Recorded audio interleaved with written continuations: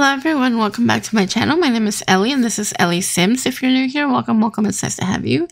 Today I'm starting a whole new Let's Play and I want to do something with the werewolf pack. So I am leaning towards a rags to riches situation.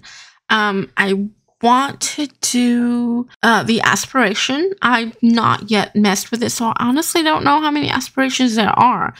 So I want to follow through with those, and I'll find out right now.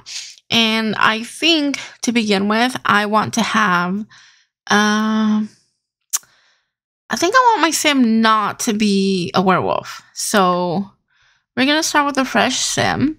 And this is the first time that I'm going to do a create a sim, so I'm actually kind of nervous about it.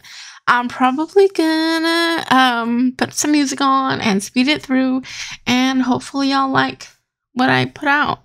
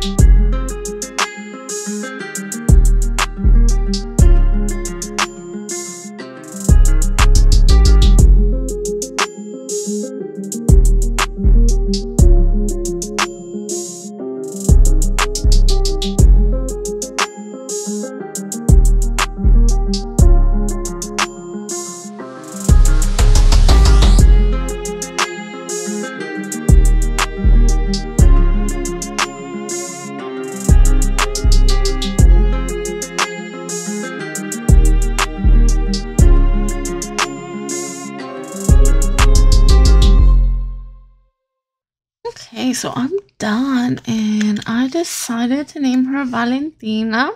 I don't know what her last name is. Ferrara? What Ferrera? There we go. And pronouns, she, her. I've noticed that like on some of another character that I made, my pronouns kind of um like mix up, but it's fine. Um, okay, so this is my end results. This is Valentina, and I promise I'm like not good at making Sims overall. At least, well, I think she came out looking really pretty, but like I'm not the best at styling them, so please forgive me. Um, I know I went through a lot of like her hair. I couldn't decide what I wanted, and I wanted to make her hair kind of short because um, I wanted to be able to at some point show off her tattoos and stuff. And I thought about making her hair white because I was thinking maybe she's moon touched. I don't know.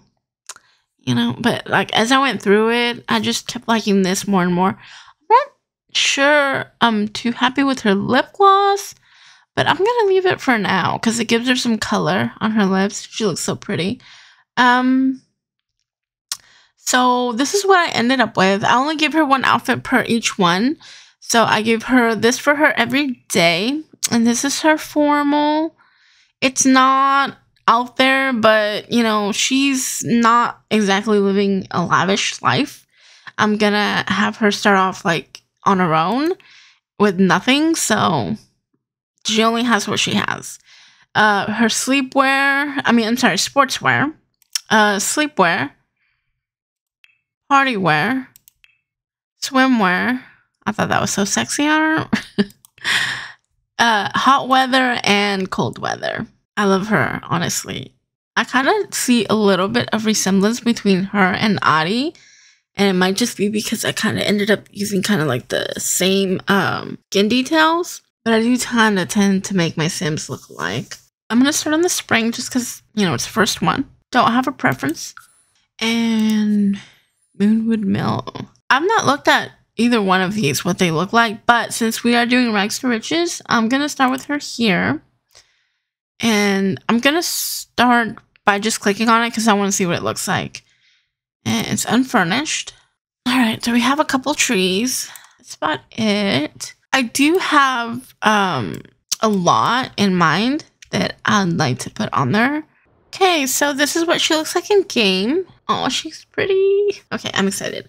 Um, I think I'm gonna leave this episode here for today because I have been recording for a little while, and of course, it's been mostly created a sim, but I've never edited a video before where I've created a sim, so it'll be my first time. Thank you everyone for watching. Um, I hope y'all enjoyed it. I do want to say that I am gonna make a couple of changes to the world before I start doing actual gameplay because I want to make it a little bit easier for myself because, you know, stuff.